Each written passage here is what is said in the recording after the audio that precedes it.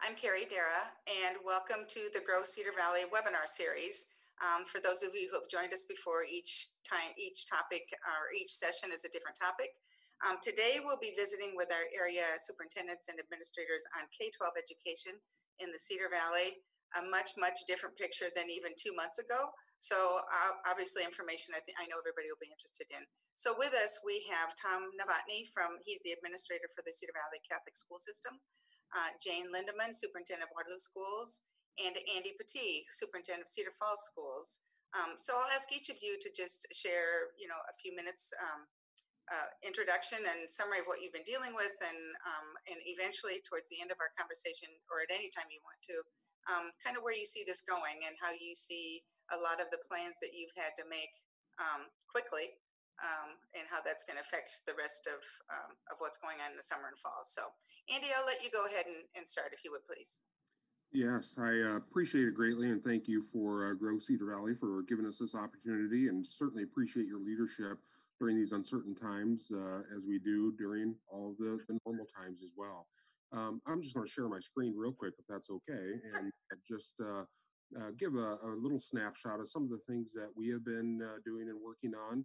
Um, we uh, certainly um, know and always say thank you to our, our tremendous staff, uh, our parents, our students for the work that they're doing. But we've put together a, a plan that's really focused on engagement. How do we ensure that our um, our competencies, those essential standards and skills, are being met uh, um, each and every day by our students. And, and we put together just a, a, plan that really highlights what that looks like, what are the templates, what are the expectations, and, and making sure that we can move forward fairly uh, fluidly through this process. And that's been very, very uh, helpful as we look at consistency across our district.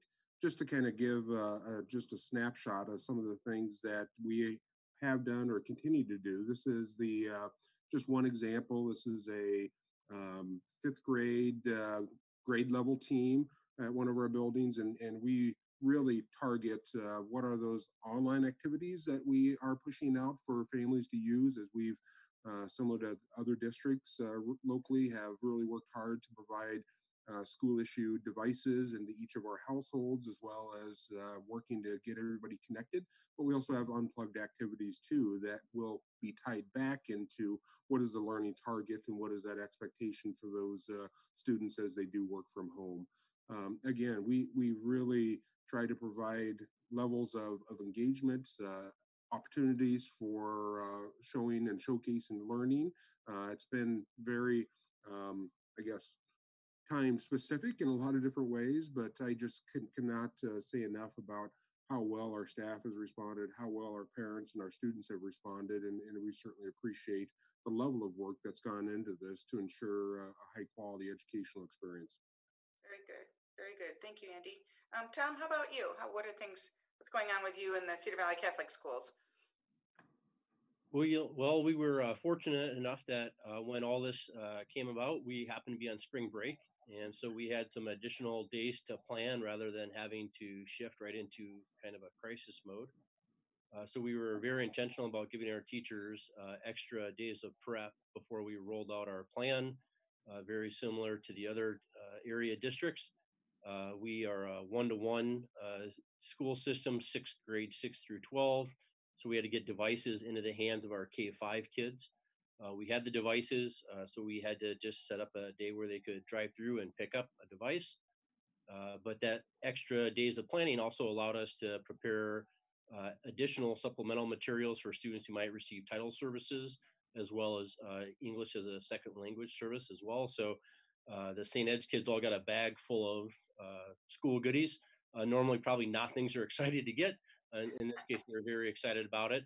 Uh, that process allowed um, us to use that again uh, this week. There were some iPads that needed some updates. So uh, parents set up individual appointments, come drop the bag off, and then pick it back up again. So uh, that's been a very fluid process for us. Uh, we have been uh, doing continuous learning then since the Wednesday we came back from break in March. Um, and the levels of engagement fluctuate a little bit each day depending on what's happening in our community. Uh, one thing that was new for us was to apply for the federal food waiver program, and we're serving about 3,500 uh, meals a week, which is in addition to what Waterloo Schools is doing. So I think that just highlights the need in our community uh, for things beyond just schooling at this point that we're trying to pro- provide for kids. Right. Um, Good. Very school good. can end quickly, so Yeah, no, no, really that- very good. enjoy. I mean, I think, I mean, I'll, I would ask Jane to speak next, but I think the technology piece is a question that would be interesting for people to understand how you navigated all of those, especially households that have several kids and, um, you know, sometimes they weren't probably not prepared to have, you know, four different devices or whatever. So, uh, but Jane, let's go ahead with you if you would please. Great, thank you. Um, yeah, I like like the other two. I really appreciate this opportunity to share. Uh, it has been quite a quite a feat to get the communication out there for something that is completely foreign. You know, we're trying to share a message on something that people don't have a lot of, you know, understanding or background, and and that includes the staff and the superintendents. Right? We're just trying to figure this out, and so I've heard several people say uh, we're making decisions now for things that we're not going to really know are right or wrong for the next, you know, maybe 12 months from now. We're going to know. So we're doing the very best we can. Um, I, I would start out by saying our, our staff has been amazing and um, we've we've really made great gains. Um, so I would just like to I'm going to share just a little bit of our continuous learning plan just because this is something that might you know pictures sometimes help so i just want to share my screen as well and um let's see if i can do this There you go. obviously so um very quickly um let me just go through you know we've been really um oops i want to get rid of this here um we've been really um, sending the message that we're open for business and we're continuing to educate our kids. We did choose the voluntary plan like many of the other districts, but um, considering that um, our voluntary really is expected. And so uh, we've had some questions from our public about that. They've asked questions about voluntary saying, you know, it seems like it's it's um, required. And we said, yeah, it really is. Even though we're still under the volunteer, we really expect that people would do that. So we have several components. Um, the the lessons we're providing lessons we're asking for assignments we're asking the teachers to engage and we're requiring feedback on their work and so and then supporting them in in quite a different variety of, of non-instructional methods too i would also drive any of our viewers to check out um, we were actually uh, lucky i guess to be hosted uh, as the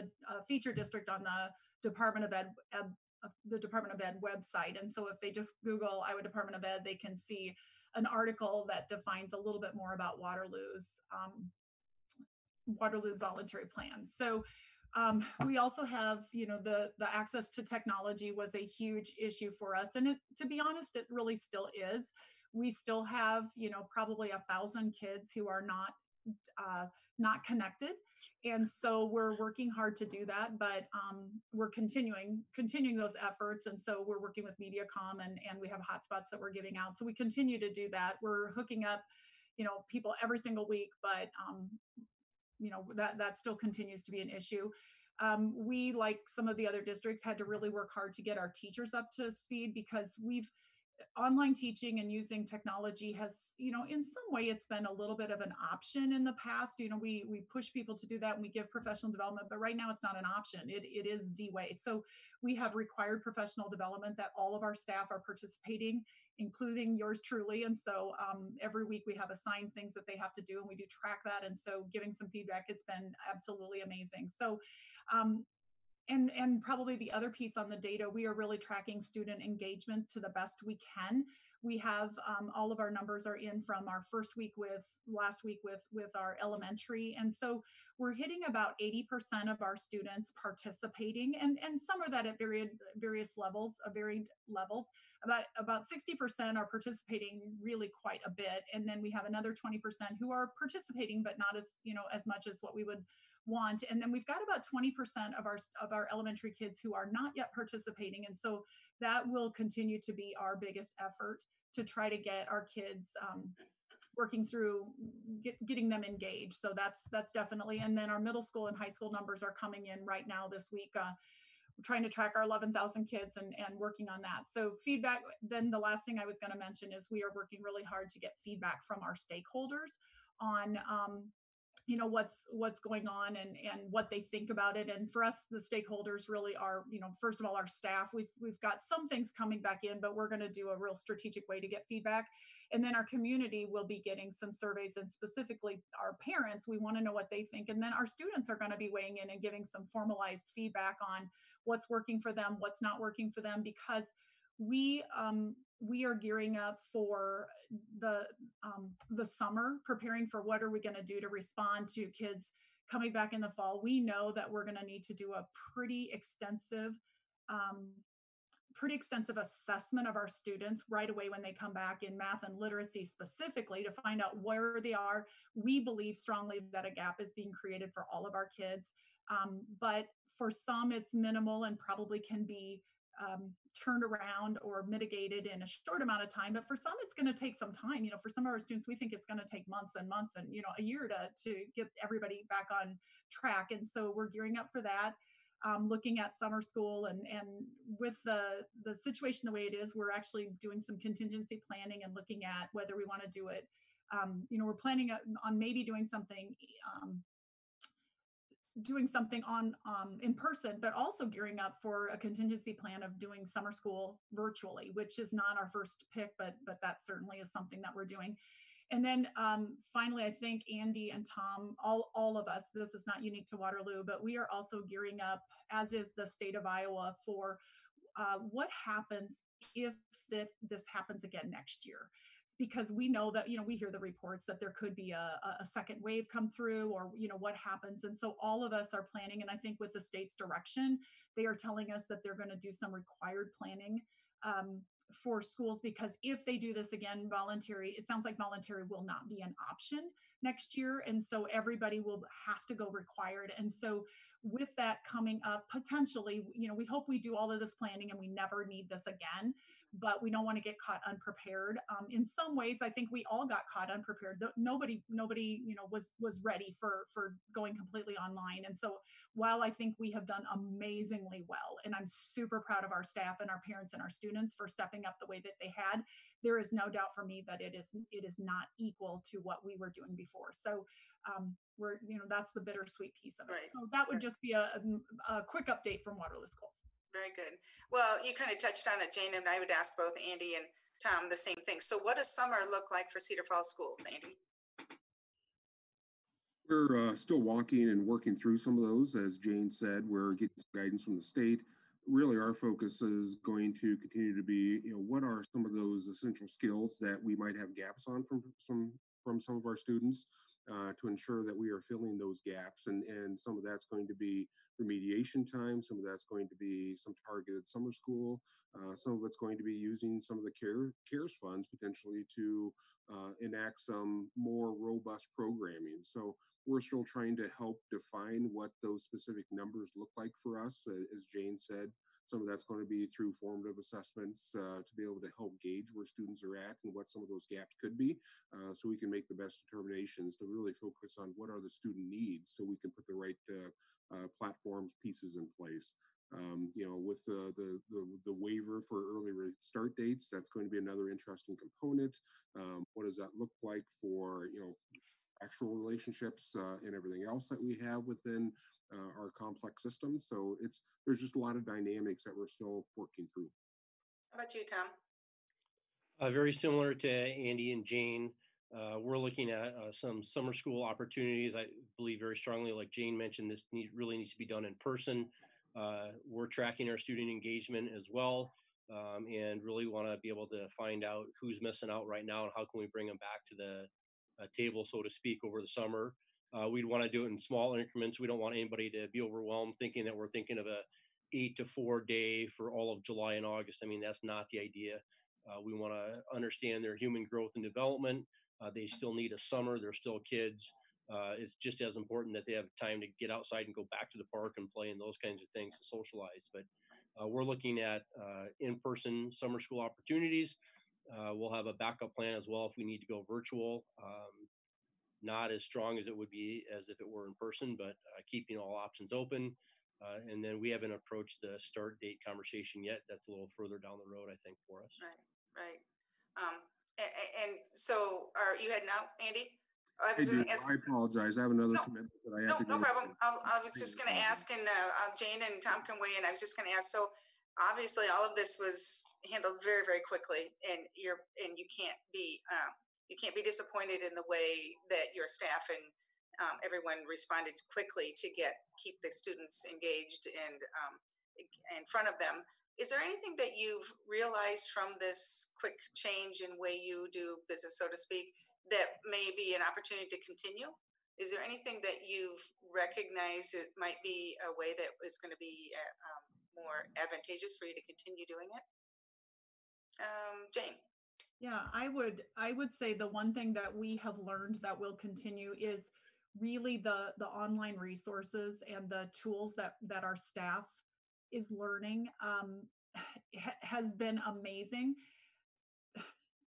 I, we have had really good professional development around the area of technology, but to be honest, there's so much going on in our lives sometimes that we don't take advantage of what's right in our, you know, right, right in front of us this has necessitated everyone taking advantage of the PD because you can't serve the kids unless you're doing it online. And so the resources that have been at our fingertips have they they are changing the way we will do business forever.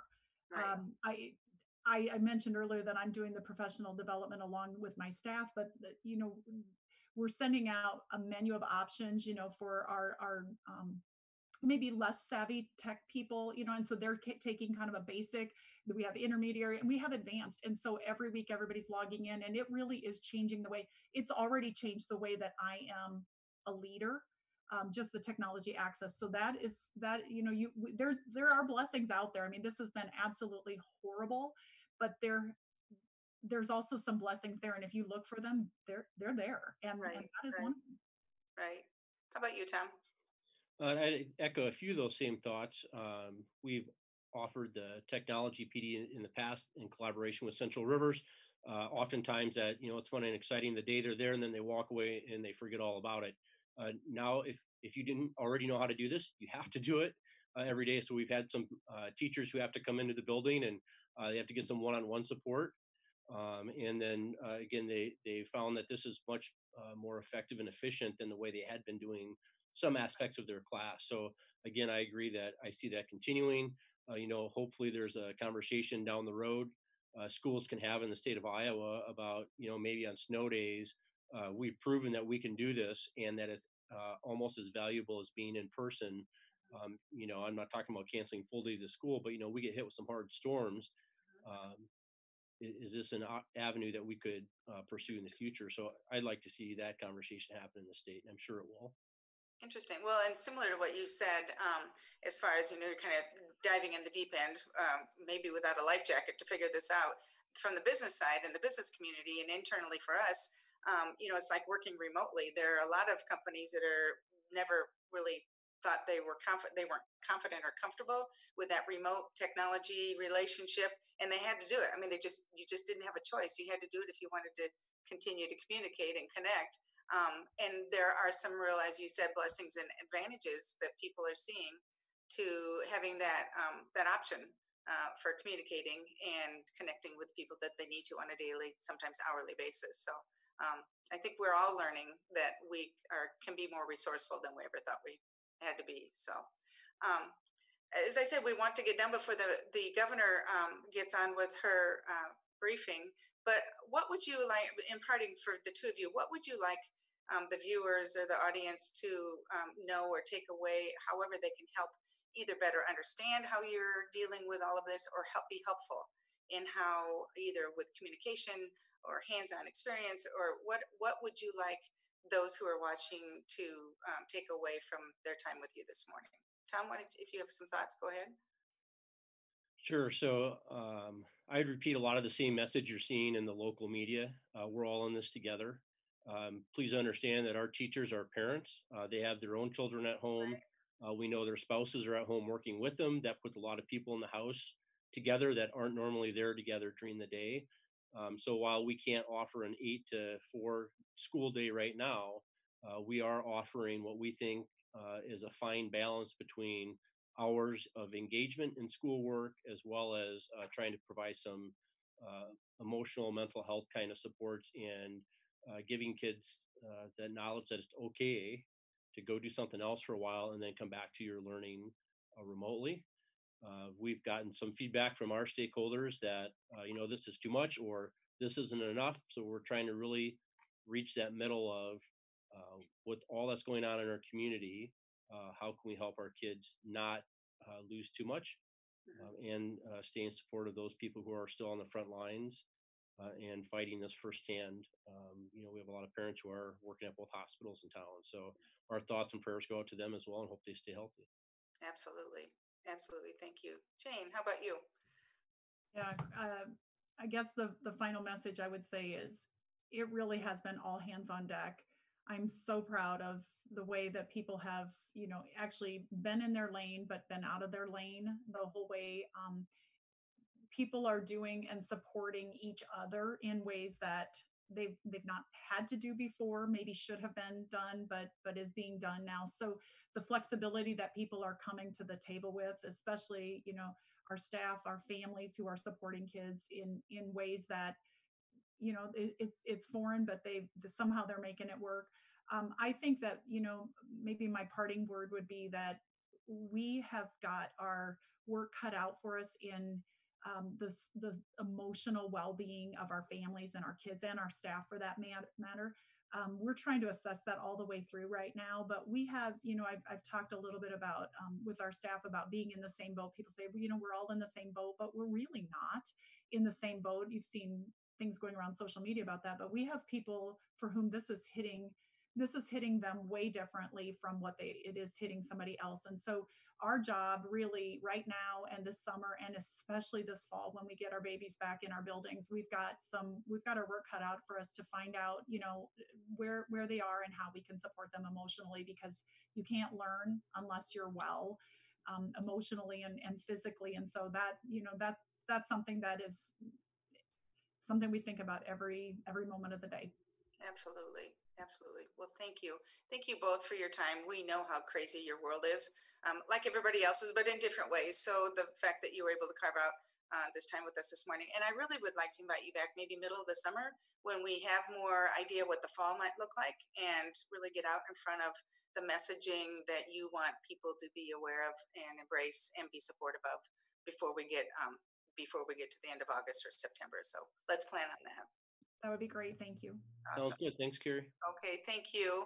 And for those of you who are watching, next Tuesday we'll have another uh, webinar session and we'll be talking about employee engagement. So uh, please join us. And if you're um, going to stay on the, the line for a while, you'll be able to get on Facebook and listen to the governor with her briefing today as well. So everybody take care, stay safe, um, and have an almost weekend, good weekend that's almost here. So we'll talk later. Thanks so much. Bye-bye.